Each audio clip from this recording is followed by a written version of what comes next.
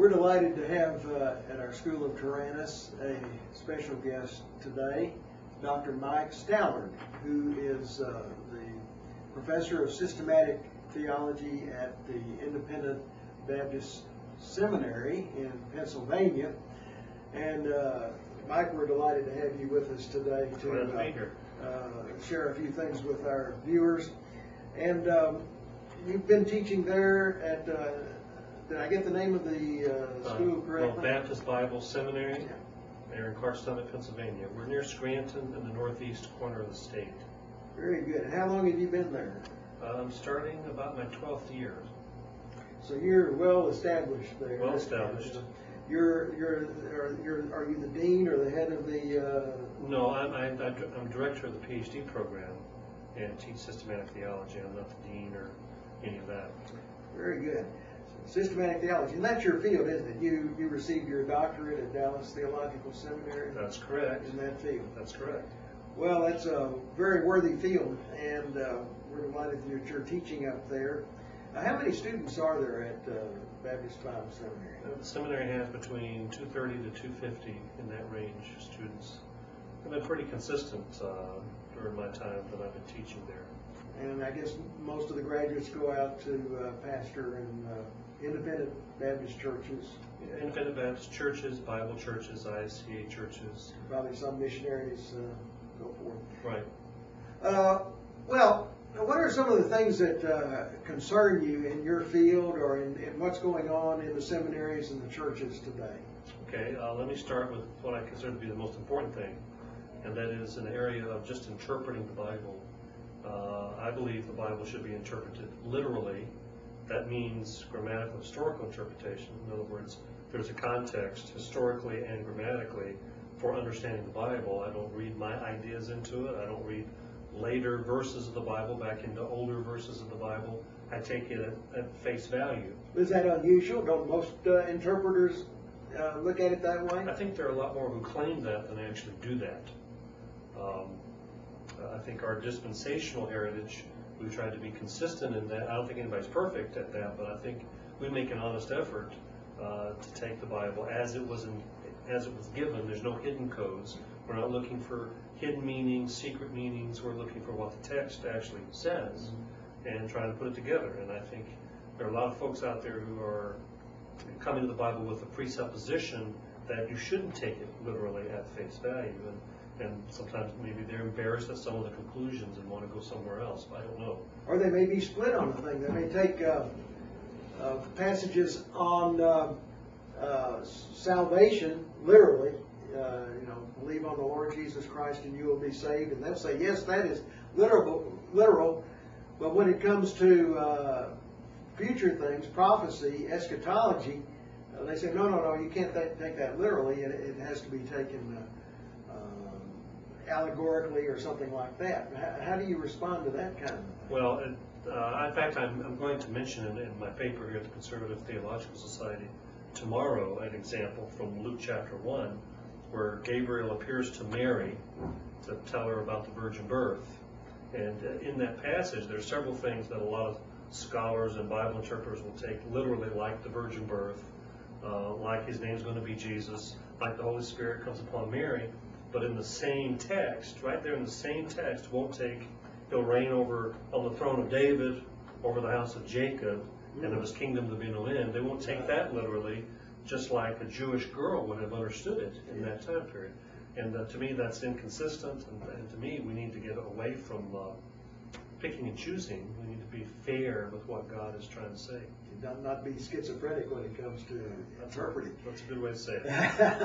I, I didn't mention uh, the fact that um, Dr. Stallard is uh, one of the uh, featured speakers at our Conservative Theological Society conference this week, and that's why we have the opportunity of seeing him again, as we uh, like to do uh, at least once a year, and uh, why he is here and able to have this interview with us today.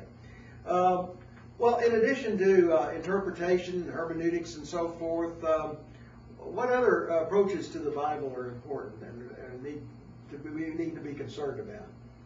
Well, uh, I think in, in theology, probably always at the top of the list after you understand how to interpret the Bible. at the top of the list is the nature of the Bible, what it is itself. Because if you're wrong there, you're wrong in everything else.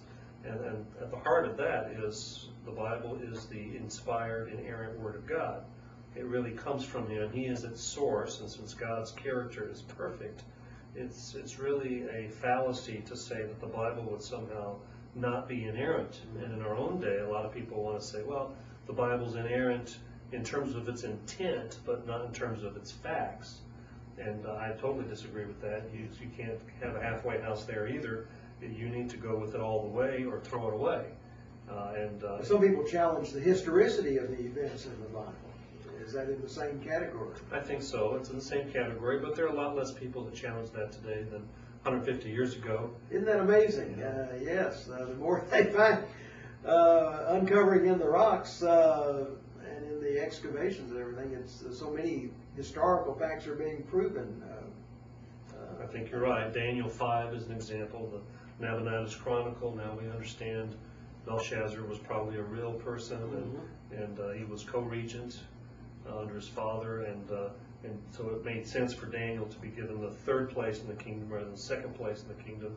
All of that, you know, didn't know 150 years ago, but now it's very clear, crystal clear as a matter of fact. Well, even even the historicity of David was uh, challenged uh, for many many centuries, but uh, with the discovery of the House of David stone uh, in Dan, um, my that's that's been muted quite a bit. There's still some holdouts that don't believe David ever existed, but it's getting harder and harder for them to do that.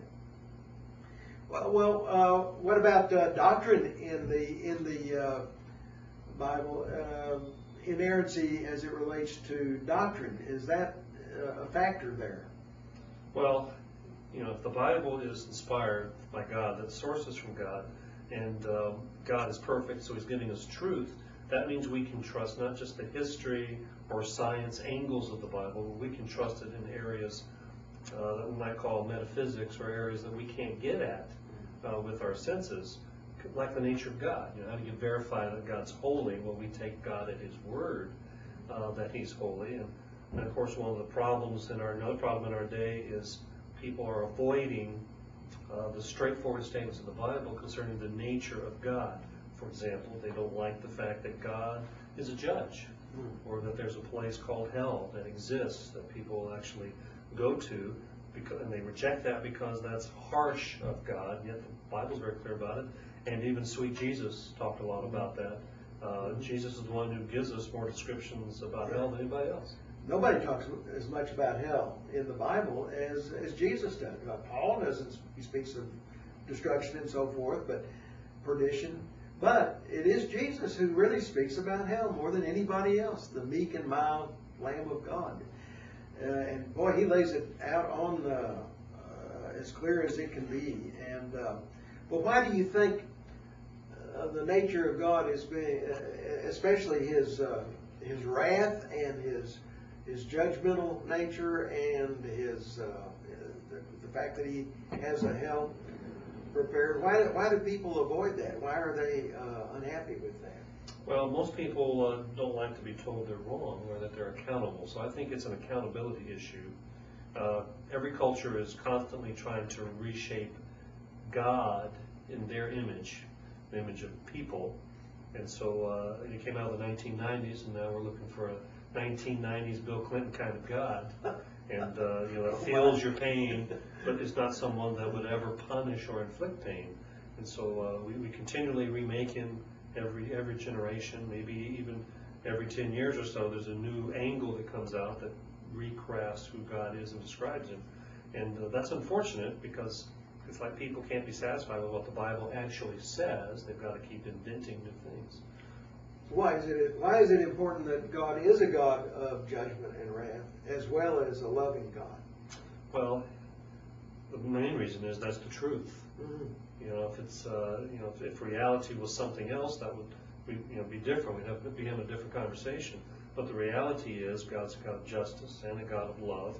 Both those things have to be taken into account. Uh, there was a real fall into real sin, and it's a historical fact, and uh, we have to deal with that. If there is no God who can judge, uh, then I'm not sure we could ever claim honestly that there would ever be a solution to all the evil that's in the world. And so we have to let God, the God of the of the earth who always does right, take care of things. So God cannot tolerate evil, then how can he tolerate us? Yeah. Well, that's a good question, but it has an easy answer. Yes. And the easy answer is, uh, His great love and mercy produced Jesus who died on the cross to take away our sins, to provide a way out, so that we wouldn't have to be accountable for our sins, since Jesus already paid the price. Uh, that's a marvelous good news there.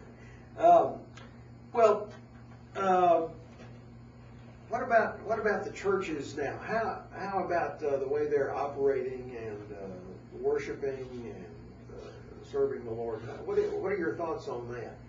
Well, uh, I think we are fighting about a lot of things that are unnecessary. Um, But I think a lot of that stems from a shallowness. There's not a depth in theology, a depth in the, in the Word of God, those kinds of things.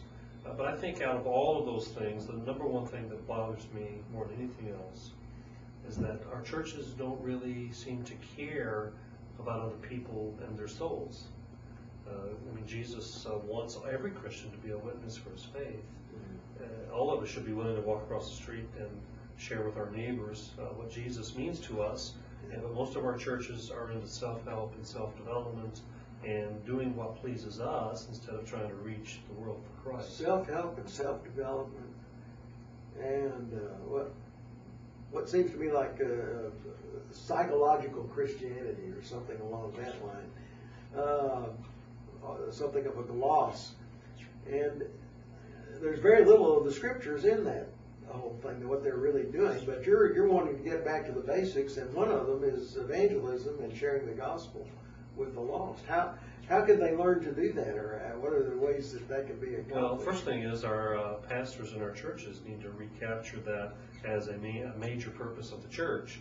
And until they see the main purpose of the church as including evangelism, I know there's the training of the sheep, but uh, the sheep are to be trained to, to win people to Jesus too. And unless uh, the pastors get that vision, then uh, there's no hope in most churches. So I think we need to, uh, in our seminaries, uh, inculcate in all, in the young men coming out to be pastors, uh, the importance of evangelism. So if we lose that battle, then the rest of it is gone anyway. Outside of that, I don't know what else we can do.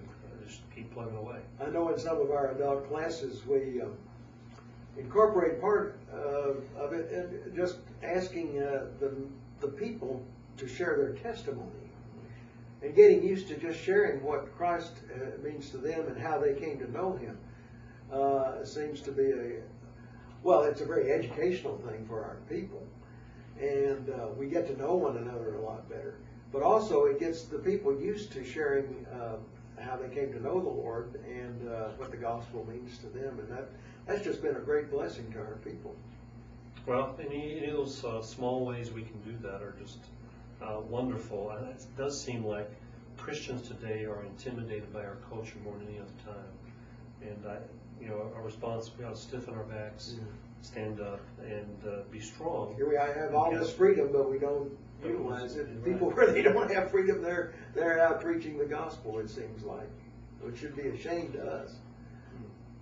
Well, uh, we certainly appreciate your uh, talking with us, uh, Dr. Stallard, and sharing with us your vision of what uh, is being taught in your seminary and should be taught, and what the churches should be doing. And uh, thank you so much for being with us. Thanks for having me.